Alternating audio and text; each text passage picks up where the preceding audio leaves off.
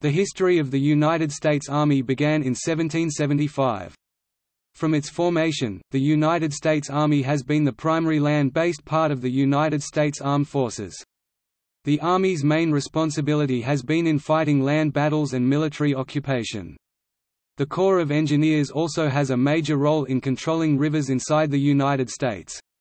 The Continental Army was founded in response to a need for professional soldiers in the American Revolutionary War to fight the invading British Army. Until the 1940s, the Army was relatively small in peacetime. In 1947, the Air Force became completely independent of the Army Air Forces. The Army was under the control of the War Department until 1947, and since then the Defense Department. The U.S. Army fought the Indian Wars of the 1790s, the War of 1812 1812–15, American Civil War 1861–65, Spanish–American War 1898, World War I 1917–18, World War II 1941–45, Korean War 1950–53 and Vietnam War 1965–71. Following the Cold War's end in 1991, Army has focused primarily on Western Asia, and also took part in the 1991 Gulf War and War in Iraq, and the War in Afghanistan. When the American Revolutionary War began in April 1775, the colonial revolutionaries did not have an army. Previously, each colony had relied upon the militia, made up of part-time civilian soldiers. The initial orders from Congress authorized ten companies of riflemen. The first full regiment of regular Army infantry, the 3rd Infantry Regiment, was not formed until June 1784. After the war, the Continental Army was quickly disbanded because of the American distrust of standing armies, and irregular state militias became the new nation's sole ground army, with the exception of a regiment to guard the western frontier and one battery of artillery guarding West Point's arsenal. During the War of 1812, an invasion of Canada failed, and U.S. troops were unable to stop the British from burning the new capital of Washington, D.C. However, the regular army, under Generals Winfield Scott and Jacob Brown, proved they were professional and capable of defeating a major invasion by the regular British Army in the Niagara Campaign of 1814. Between 1815 and 1860, the main role of the U.S. Army was fighting Native Americans in the West in the American Indian Wars, and manning coast artillery stations at major ports. The U.S. used regular units and many volunteer units in the Mexican–American War of 1846–48. At the outset of the American Civil War, the regular U.S. Army was small and generally assigned to defend the nation's frontiers from attacks by Indians. Following the Civil War, the U.S. Army fought more wars with Indians, who resisted U.S. expansion into the center of the continent. A combined conscript and volunteer force, the National Army, was formed by the United States War Department in 1917 to fight in World War I. During World War II, the Army of the United States was formed as a successor to the National Army. The end of World War II set the stage for the ideological confrontation known as the Cold War. With the outbreak of the Korean War, concerns over the defense of Western Europe led to the establishment of NATO. During the Cold War, American troops and their allies fought Communist forces in Korea and Vietnam see containment. The 1980s was mostly a decade of reorganization. The Army converted to an all-volunteer force with greater emphasis on training and technology. By 1989, the Cold War was nearing its conclusion. The Army leadership reacted by starting to plan for a reduction in strength. After Desert Storm, the Army did not see major combat operations for the remainder of the 1990s. After the September 11 attacks, and as part of the War on Terror, U.S. and other NATO forces invaded Afghanistan in 2001, replacing the Taliban government. The Army took part in the U.S. and Allied 2003 invasion of Iraq.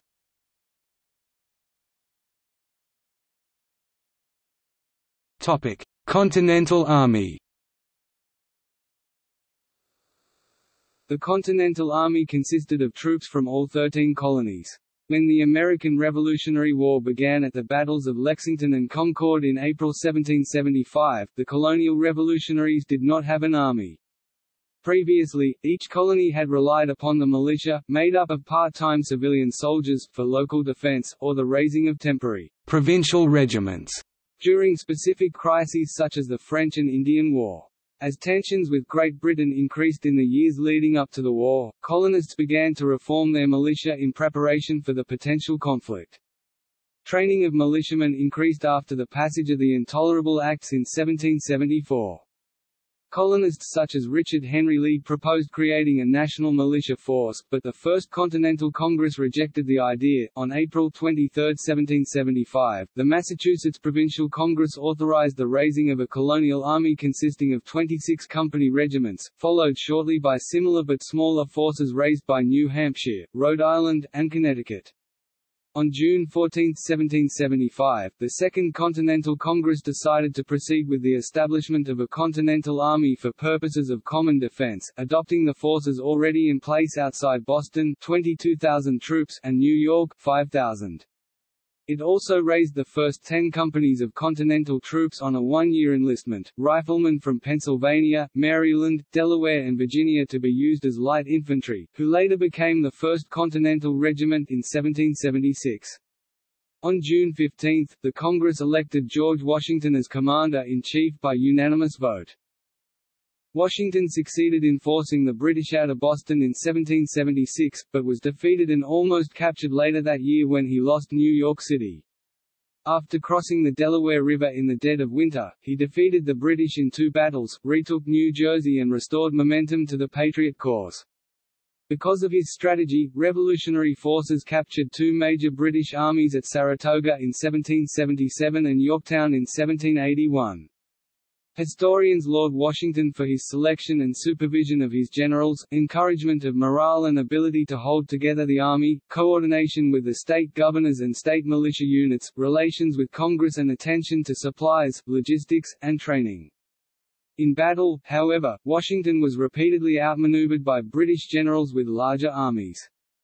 After victory had been achieved in 1783, Washington resigned rather than seize power, proving his opposition to military dictatorship and his commitment to American republicanism.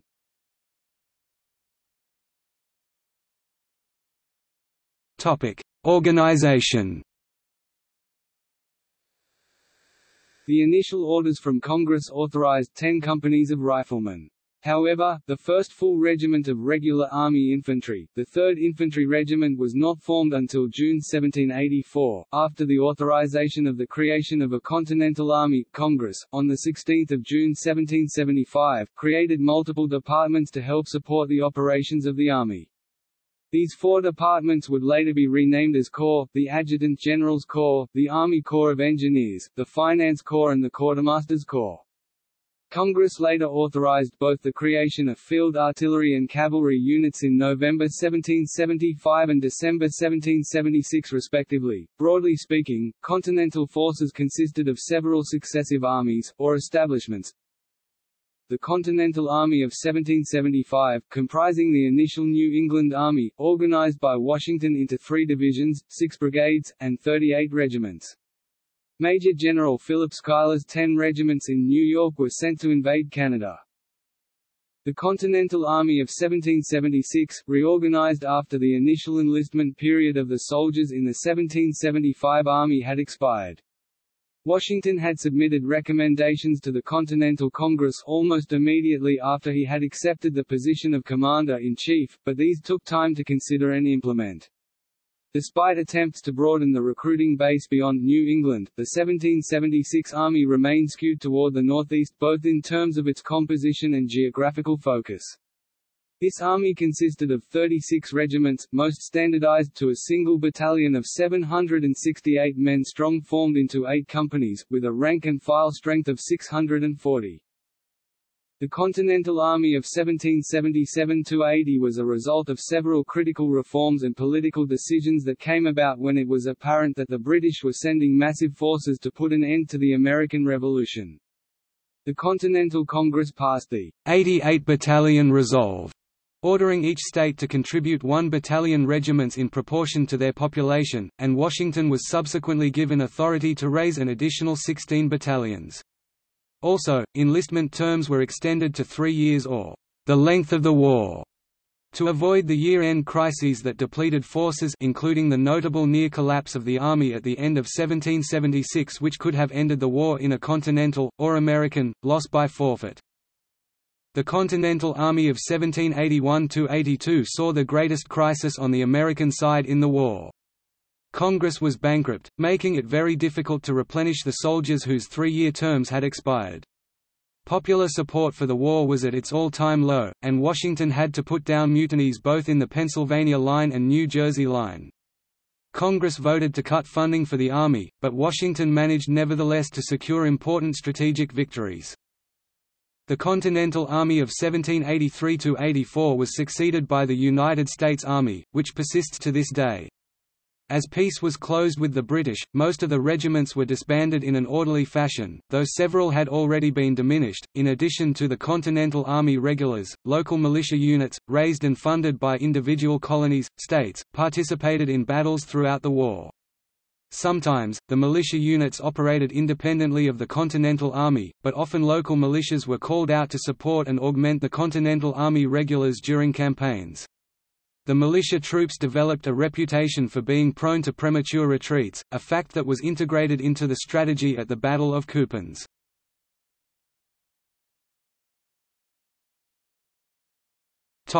Early national period 1783 1812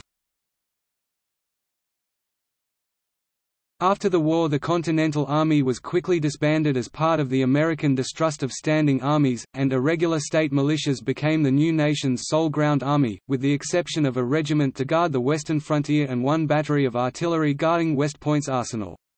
However, because of continuing conflict with Indians, it was soon realized that it was necessary to field a trained standing army. The first of these, the Legion of the United States, was established between June and November 1792 at Fort Lafayette, Pennsylvania, under Major Gen. Mad. Anthony Wayne. The newly formed Legion moved in December 1792 to an encampment downriver on the Ohio near Fort McIntosh named Legionville for training. In September 1793, the Legion moved by barge down the Ohio to a camp named Hobson's Choice two miles from Fort Washington Cincinnati on the western frontier. There it was joined by units from the Kentucky militia. Their assignment was to advance to the site of St. Clair's earlier defeat, recover the cannons lost there, and continue to the Miami capital at Kekionga to establish U.S. sovereignty over northern and western Ohio and beyond. A month later, the combined force under Wayne and Brigadier General Scott of Kentucky advanced northward into Indian Territory beyond the northern outpost Fort Jefferson to establish the first in a succession of frontier forts on Ohio's western border named Fort Greenville. The northern campaign culminated in victory at the Battle of Fallen Timbers in August 1794 near what is today the modern city of Toledo, Ohio near the Ohio-Michigan border. The Legion then advanced unopposed to Kekionga in northern Indiana near the Ohio border and established Fort Wayne at the site of the future city. The Treaty of Greenville in 1795 brought peace to the northern Ohio frontier and opened eastern and southern Ohio to settlement. The Legion established other forts after Fort Wayne, notably Fort St. Mary's in western Ohio, and the settlement that grew up there was the site of several significant treaties in 1818. After Wayne's death in 1796, command of the Legion passed to Wayne's executive officer and commandant of Fort Washington, Brig. General James Wilkinson. The Legion was renamed the United States Army.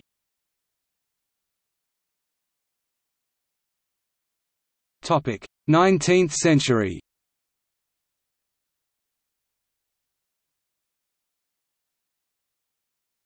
Topic: War of 1812. The War of 1812, the second and last American war against the British, was less successful than the Revolution had been. An invasion of Canada failed, and U.S. troops were unable to stop the British from burning the new capital of Washington, D.C. However, the regular army, under Generals Winfield Scott and Jacob Brown, proved they were professional and capable of defeating a major invasion by the regular British Army in the Niagara Campaign of 1814. The nation celebrated the Army's great victory under Andrew Jackson, at the Battle of New Orleans in January 1815, thus ending the war on a high note. The multiple failures and fiascos of the War of 1812 convinced Washington that thorough reform of the War Department was necessary. Secretary of War John C. Calhoun reorganized the department into a system of bureaus, whose chiefs held office for life, and a commanding general in the field, although the Congress did not authorize this position. Through the 1840s and 1850s, Winfield Scott was the senior general, only retiring at the start of the American Civil War in 1861. The bureau chiefs acted as advisors to the Secretary of War while commanding their own troops and field installations. The bureaus frequently conflicted among themselves, but in disputes with the commanding general, the Secretary of War generally supported the bureaus. Congress regulated the affairs of the bureaus in detail, and their chiefs looked to that body for support. Calhoun set up the Bureau of Indian Affairs in 1824, the main agency within the War Department for dealing with Native Americans until 1849, when the Congress transferred it to the newly founded Department of the Interior.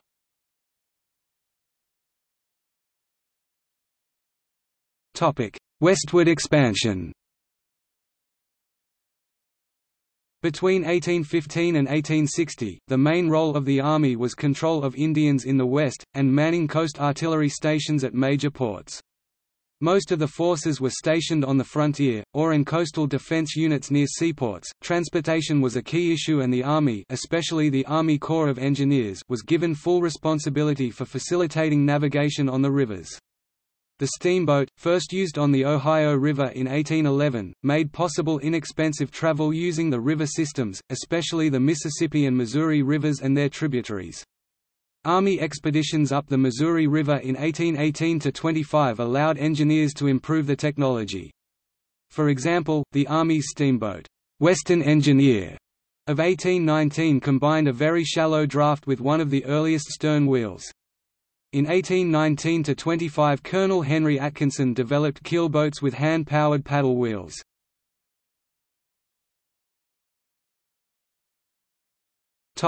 Seminole Wars Internally the main military action involved the years of warfare with the Seminole Indians in Florida. They refused to move west and effectively used the terrain as a defense. The First Seminole War was from 1814 to 1819, the Second Seminole War from 1835 to 1842, and the Third Seminole War from 1855 to 1858.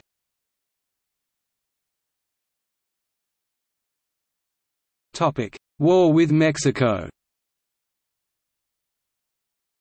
The U.S. used regular units and many volunteer units to fight Mexico, 1846–48.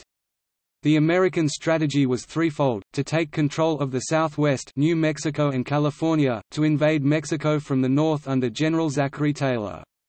Finally to land troops and capture Mexico City with an army under General Winfield Scott. All the operations were successful, the Americans won all the major battles. The army expanded from 6,000 regulars to more than 115,000. Of these, approximately 1.5% were killed in the fighting and nearly 10% died of disease, another 12% were wounded or discharged because of disease.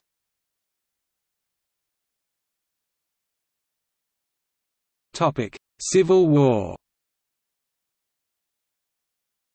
At the outset of the American Civil War the regular U.S. Army was small and generally assigned to defend the nation's frontiers from Indian attacks. As one after another Southern state seceded many experienced officers and men resigned or left to join the Confederate States Army, further limiting the regular Army's abilities.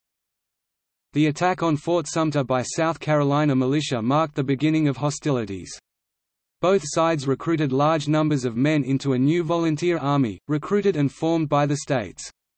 Regiments were recruited locally, with company officers elected by the men. Although many officers in the regular army accepted commissions in the new volunteer units outsiders were not usually welcome as officers, unless they were surgeons whose value was obvious.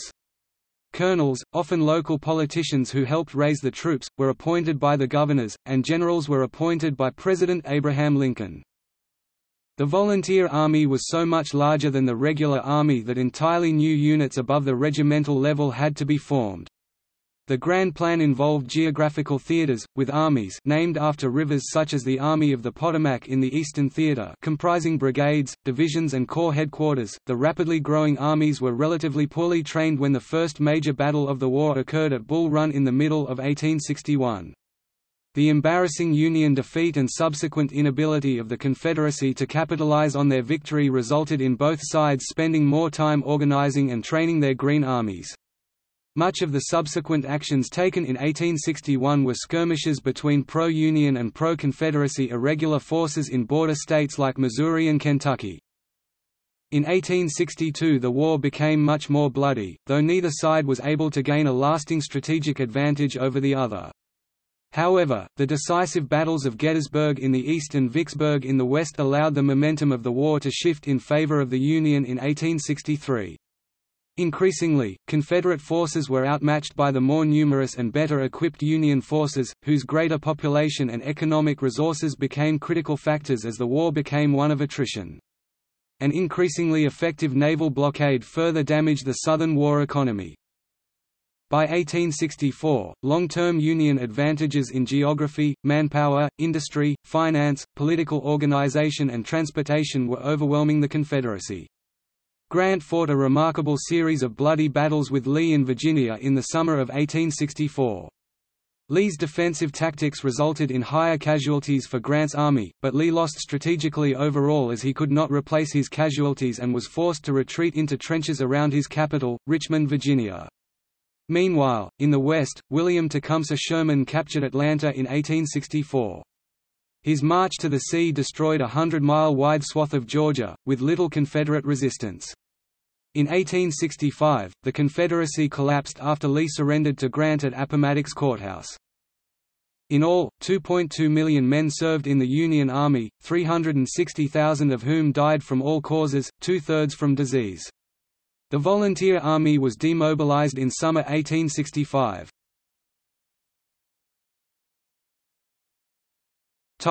Logistics while the Confederacy suffered from a worsening lack of adequate supplies, the Union forces typically had enough food, supplies, ammunition and weapons. The Union supply system, even as it penetrated deeper into the South, maintained its efficiency. The key leader was Quartermaster General Montgomery C. Meigs. Union quartermasters were responsible for most of the $3 billion spent for the war. They operated out of 16 major depots, which formed the basis of the system of procurement and supply throughout the war. As the war expanded, operation of these depots became much more complex, with an overlapping and interweaving relationship between the Army and government-operated factories, private factories, and numerous middlemen. The purchase of goods and services through contracts supervised by the quartermasters accounted for most of federal military expenditures, apart from the wages of the soldiers. The quartermasters supervised their own soldiers, and cooperated closely with state officials, manufacturers and wholesalers trying to sell directly to the army, and representatives of civilian workers looking for higher pay at government factories. The complex system was closely monitored by congressmen anxious to ensure that their districts won their share of contracts.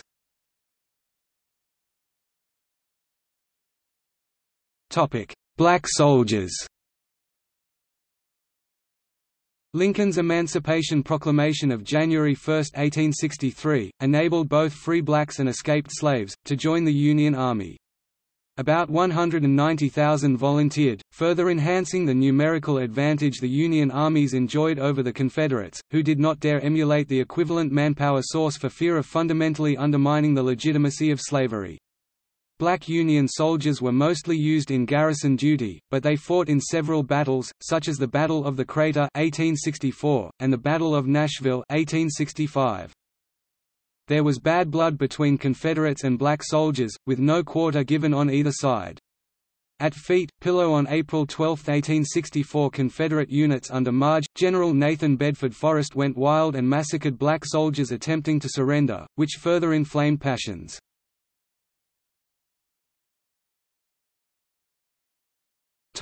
Indian Wars of the late 19th century Following the Civil War, the U.S. Army fought a series of wars with Native Americans, who resisted U.S. expansion into the center of the continent. By the 1890s the U.S. saw itself as a potential international player.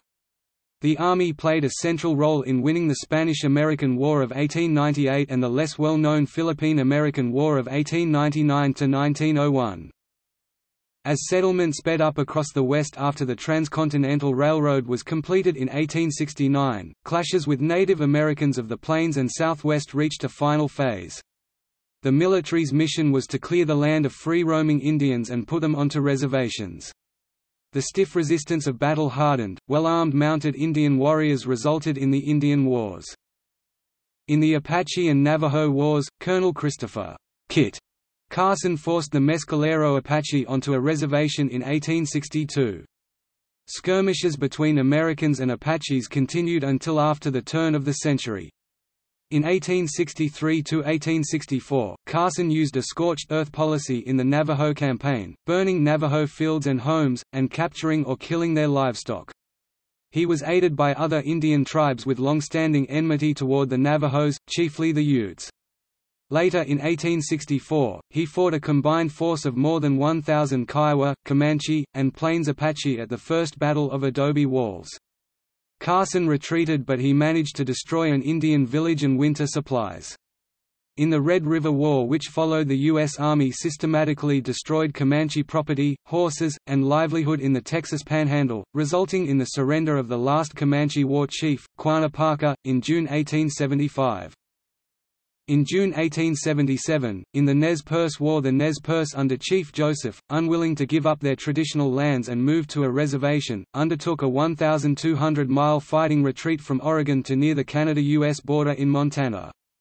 Numbering only 200 warriors, the Nez Perce battled some 2,000 American regulars and volunteers in a total of 18 engagements, including four major battles and at least four fiercely contested skirmishes.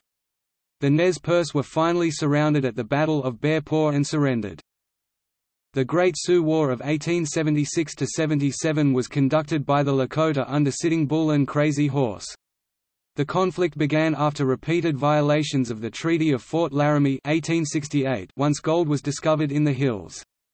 By far the most famous battle was the one-sided Indian victory at the Battle of the Little Bighorn, in which combined Sioux and Cheyenne forces defeated the 7th Cavalry, led by General George Armstrong Custer. The West was largely pacified by 1890, apart from small Indian raids along the Mexican border. Combat in the Indian Wars resulted in the deaths of about 4,340 people, including soldiers, civilians, and Native Americans. In all the Indian Wars combined from 1790 to 1910, regular cavalry units fought in about 1,000 engagements and suffered more than 2,000 total killed and wounded. Disease and accidents caused far more Army casualties than combat. Annually, 8 soldiers per 1,000 died from disease, and 5 per 1,000 died from battle wounds or accidents.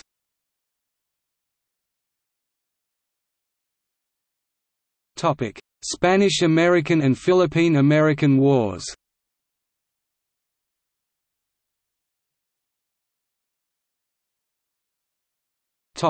20th century. In 1910, the U.S. Signal Corps acquired and flew the Army's first aircraft, the Wright Type A biplane. The Maneuver Division was formed in San Antonio, Texas, in March 1911, to undertake offensive operations against Mexico during the Mexican Revolution. This was the United States' first attempt at modernizing the division concept. Major General Leonard Wood, then Army Chief of Staff, mobilized the division primarily to demonstrate to Congress that the United States was not adequately prepared for modern warfare.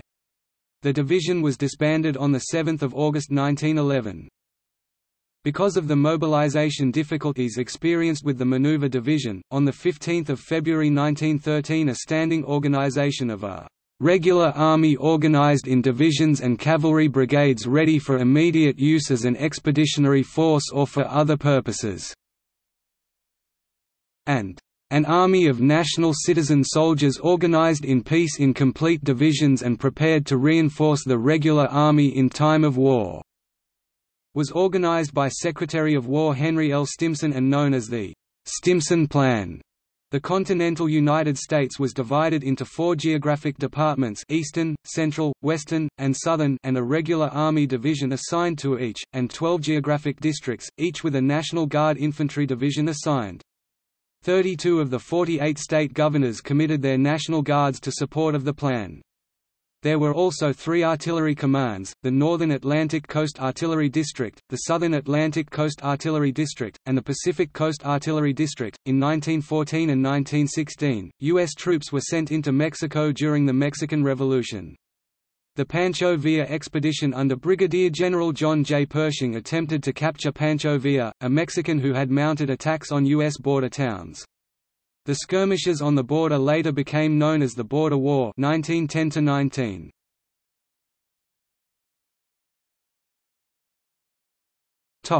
World War I A combined conscript and volunteer force, the National Army, was formed by the United States War Department in 1917 to fight in World War I. The National Army was formed from the old corps of the regular United States Army, augmented by units of the United States National Guard and a large draft of able-bodied men. The Selective Service Act established the broad outlines of the Army's structure.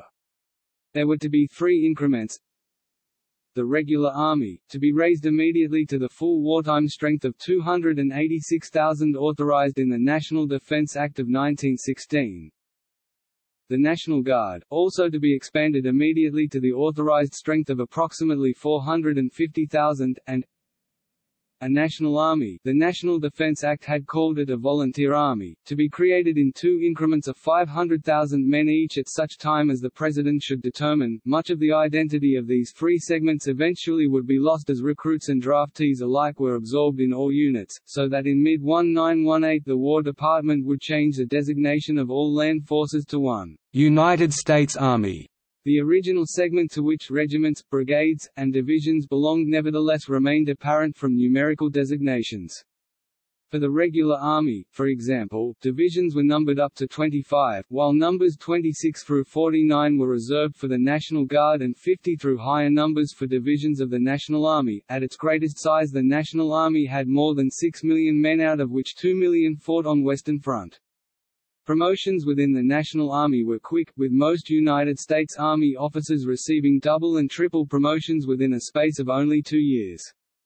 For example, Dwight D. Eisenhower entered the National Army as a captain and was a lieutenant colonel one year later. Douglas MacArthur also advanced quickly in the National Army, rising from major to brigadier general in two years.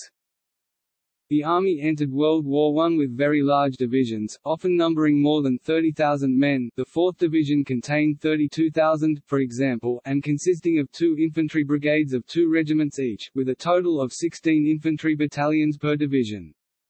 Each division also had three artillery regiments and an engineer regiment. The United States joined World War I in April 1917. Because of the necessary period of training before the units were moved overseas, the first elements of the American Expeditionary Forces arrived in June 1917. Their first actions of the Western Front came in October 1917. U.S. troops contributed to the offensive that finally broke through the German lines. With the armistice on the 11th of November 1918, the Army once again decreased its forces.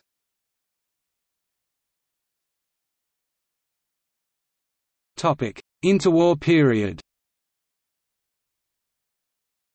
The National Army was disbanded in 1920 and all personnel not subject to demobilization who had held ranks in the National Army were reverted to regular Army status. George S. Patton, who had been a colonel in the National Army, returned to the regular Army as a captain. Some, such as Douglas MacArthur, maintained their wartime rank in the regular Army. For those keeping their wartime ranks the reality was, however, that they would usually remain at that specific rank for years. This often resulted in talented officers leaving service in the interwar years. After establishing post-World War I divisions, the Army experienced a prolonged period of stagnation and deterioration. The National Defense Act of 1920 authorized a regular army of 296,000 men, but Congress gradually backed away from that number. As with the regular army, the National Guard never recruited its authorized 486,000 men, and the organized reserves became merely a pool of reserve officers. The root of the Army's problem was money. Congress yearly appropriated only about half the funds that the General Staff requested. Impoverished in manpower and funds, infantry and cavalry divisions dwindled to skeletal organizations. Between 1923 and 1939 divisions gradually declined as fighting organizations. After regular Army divisions moved to permanent posts, the War Department modified command relationships between divisional units and the corps areas, making division and brigade commanders responsible only for unit training. They were limited to two visits per year to their assigned elements, and that only if corps area commanders made funds available. Later, as a further economy move, the War Department reduced the number of command visits to one per year, a restriction that effectively destroyed the possibility of training units as combined arms teams.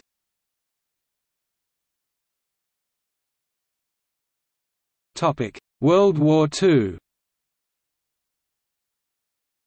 During World War II, the Army of the United States was formed as a successor to the National Army. The Army of the United States operated on the same principles as its predecessor, combining regular Army, National Guard, and conscript forces into one fighting unit. The Army of the United States also incorporated reserve forces. The Army fought World War II with more flexible divisions, consisting of three infantry regiments of three infantry battalions each. From the point of view of soldiers, most of their time was spent in training in the United States, with large numbers going overseas in 1944. The United States entered World War II after the Japanese attack on Pearl Harbor in December 1941. On the European front, U.S. Army troops formed a significant portion of the forces that captured North Africa and Sicily and later fought in Italy. On D-Day, 6 June 1944, and in the subsequent liberation of Europe and defeat of Nazi Germany, millions of U.S. Army troops played a central role. In the Pacific, Army soldiers participated alongside the U.S. Marine Corps in the «island hopping» campaign that wrested the Pacific Islands from Japanese control. Following the Axis surrenders in May Germany and August Japan of 1945, Army troops were deployed to Japan and Germany to occupy the two defeated nations. The U.S. Army Air Force, which was an outgrowth of the earlier Army Air Corps, had been virtually independent during the war. In 1947, it separated from the Army to become the United States Air Force. Shortly after the war, in 1948, the Women's Armed Services Integration Act gave women permanent status in the regular and reserve forces of the Army.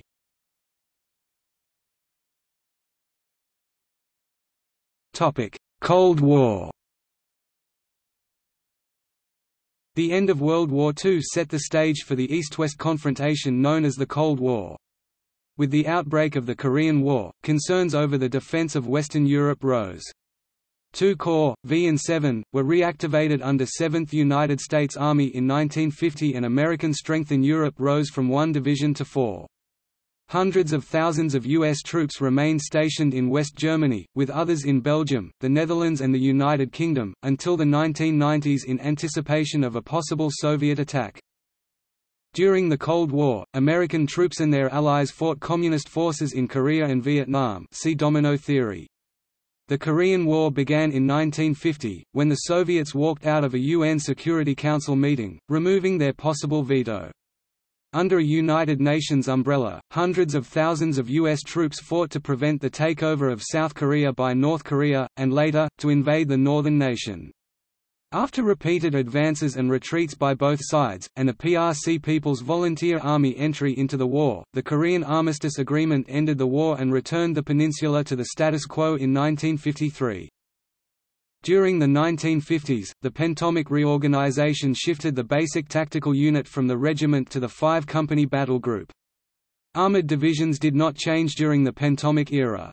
Instead of brigades, an armored division had three combat commands designated, CCA, CCB, and CCC. On 16 December 1960, the Army Chief of Staff directed a reappraisal of division organization. Resulting studies were carried out between January and April 1961, and fully implemented by 1965. The resulting reorganization of Army divisions road program shifted all types of divisions mechanized, airborne, armor, infantry and cavalry to an identical structure of three brigades of three sometimes four battalions. The road division consisted of a mix of 9 to 12 armor and infantry battalions assigned to the division to meet the expected needs of the division based on its mission, the likely enemy, the terrain, weather, and other forces available or troops met. Each brigade would be assigned or attached the mix of battalions and companies based on the division commander's estimate based on MET. As operations continued, the division commander could task organize subordinate units as needed by the flow of the battle. The 1st Air Cavalry in Vietnam had nine battalions spread as needed between the three brigade headquarters, but often moved the equivalent of one battalion each day by airlift from one side of the battlefield to the other. An infantry battalion in 1st Infantry Division in Vietnam could expect having the number of companies under his command change at least once a day, with companies from different divisions not uncommon. In the heavy Divisions in Europe, a tank or infantry company could find itself moved to other battalions more than once a week, and to another brigade as needed.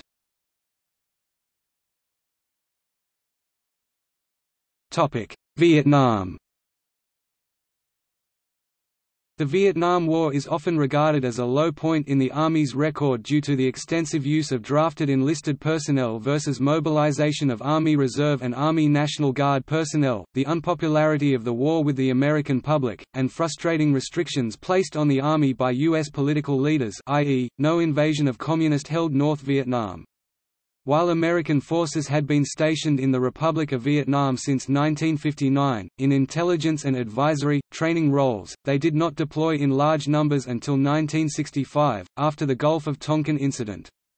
American forces effectively established and maintained control of the traditional battlefield, however they struggled to counter the guerrilla hit-and-run tactics of the Communist Viet Cong and the North Vietnamese Army.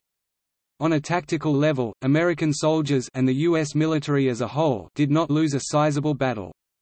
For instance in the Tet Offensive in 1968, the U.S. Army turned a large-scale attack by Communist forces into a massive defeat of the Viet Cong on the battlefield though at the time the offensive sapped the political will of the American public which permanently weakened the guerrilla force. Thereafter, most large-scale engagements were fought with the regular North Vietnamese Army. In 1973 domestic political opposition to the war finally forced a U.S. withdrawal. In 1975, Vietnam was unified under a communist government. During the 1960s the Department of Defense continued to scrutinize the reserve forces and to question the number of divisions and brigades as well as the redundancy of maintaining two reserve components, the Army National Guard and the Army Reserve. In 1967 Secretary of Defense McNamara decided that 15 combat divisions in the Army National Guard were unnecessary and cut the number to eight divisions one mechanized infantry, two armored, and five infantry, but increased the number of brigades from 7 to 18 one airborne, one armored, two mechanized infantry, and 14 infantry. The loss of the divisions did not set well with the states. Their objections included the inadequate maneuver element mix for those that remained and the end to the practice of rotating divisional commands among the states that supported them.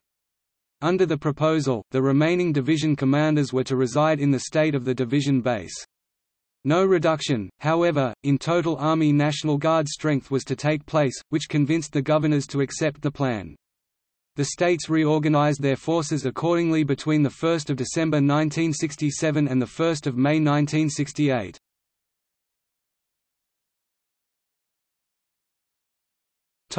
Post-Vietnam War. A.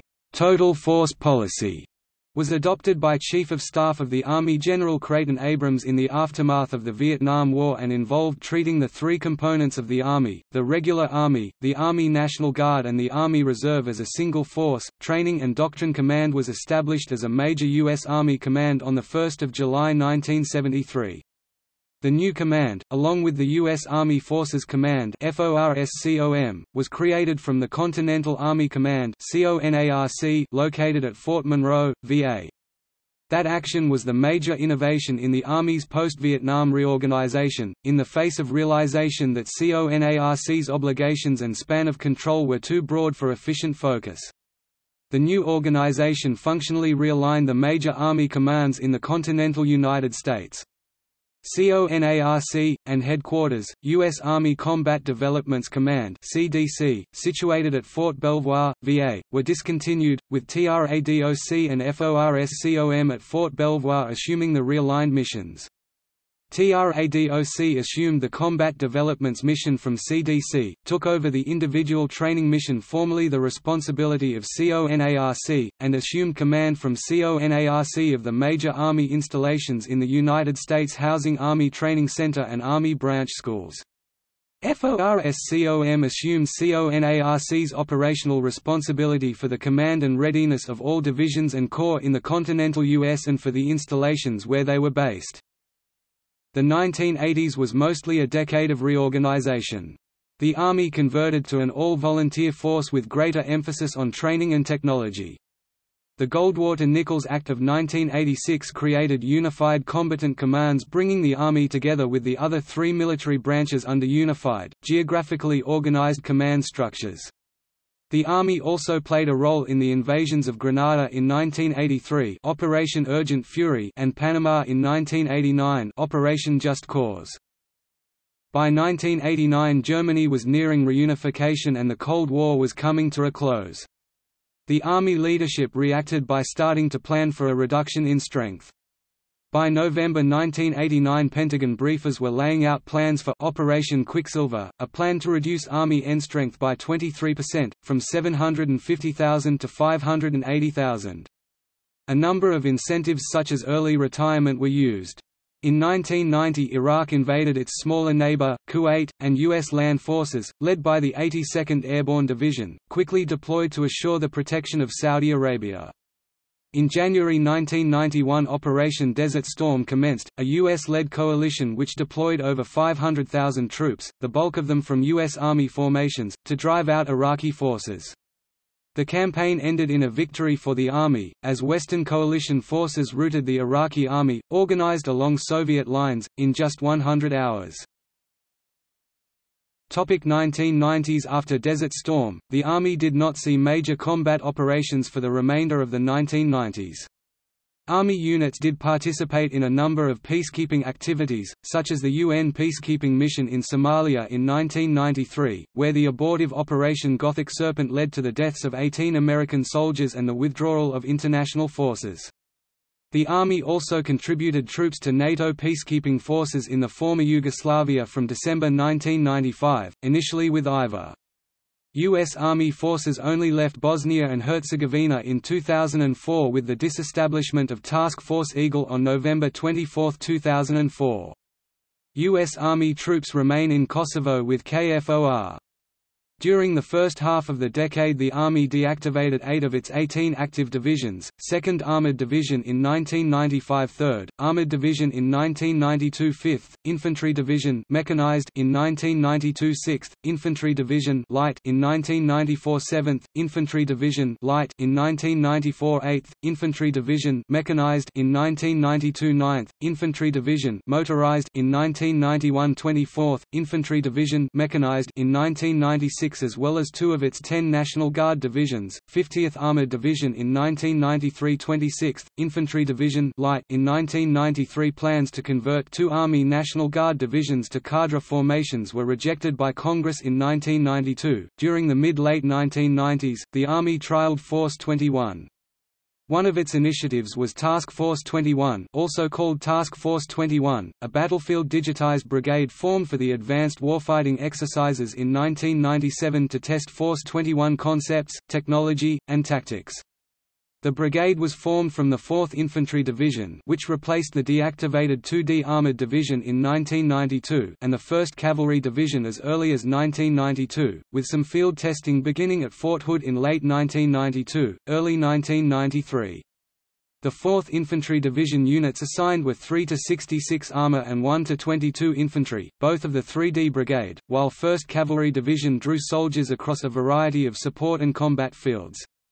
Technologies tested included software-defined radios, applique computers, ground surveillance radar, satellite radio email systems, and advanced UAV technology.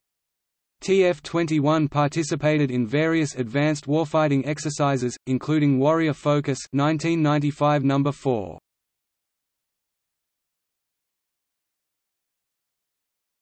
Topic: 21st century. On September 11, 2001, 53 Army civilians, 47 employees and 6 contractors, and 22 soldiers were among the 125 victims killed in the Pentagon in a terrorist attack when American Airlines Flight 77 commandeered by five al-Qaeda hijackers slammed into the western side of the building, as part of the September 11 attacks. Lieutenant General Timothy Maude was the highest-ranking military official killed at the Pentagon, and the most senior U.S. Army officer killed by foreign action since the death of Lieutenant General Simon Bolivar Buckner Jr. on June 18, 1945, in the Battle of Okinawa during World War II. In response to the September 11 attacks, and as part of the global war on terror, US and NATO combined arms i.e. Army, Navy, Air Force, Marine, Special Operations forces invaded Afghanistan in October 2001, replacing the Taliban government. The Army took part in the combined US and Allied 2003 invasion of Iraq. Within months the mission changed from conflict between regular militaries to counterinsurgency, with large numbers of suicide attacks resulting in the deaths of more than 4,000 U.S. service members as of March 2008 and injuries to thousands more. Most of the units that carried out the ground campaign phase of the invasion of Iraq, and who bore the larger part of the conflict with the Iraqi military in 2003 were those of the Army. Since then, they have performed numerous operations against insurgents. The Army has had to make several adjustments to address demands on its personnel and equipment. The U.S. Army has utilized its stop-loss policy and has required more of its combat personnel to serve more tours of duty than before, due to the need for experienced personnel. As opposed to Vietnam, there was no involuntary draft of enlisted males into the Army. Instead, the service employed its total force model and mobilized, recalled to active duty numerous Army National Guard and Army Reserve combat arms, combat support and combat service support units and personnel, often deploying many of them repeatedly to the Southwest Asia Combat Zone in a manner similar to their regular Army counterparts. There are deep concerns about effects on the psychological health of U.S. soldiers in Iraq and Afghanistan. Suicides among U.S. soldiers have been rising, and have reached their highest rate in 26 years.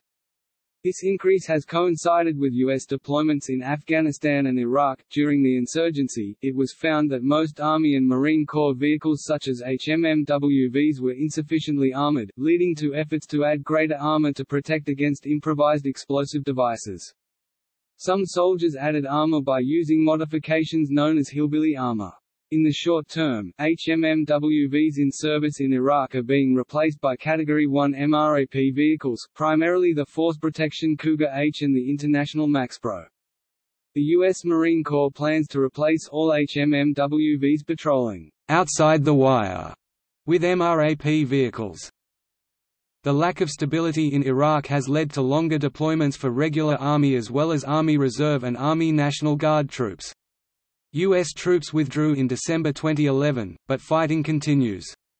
3,293 U.S. Army personnel were killed in the conflict. The Army's chief modernization plan was the Future Combat Systems Program. Many systems were cancelled and the remaining were swept into the BCT modernization program.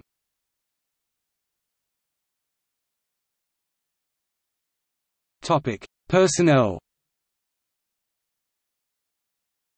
1775–1783 to 17,000 Continental Army without militias. 1784 to 700 First American Regiment. 1793 to 5100 Legion of the United States.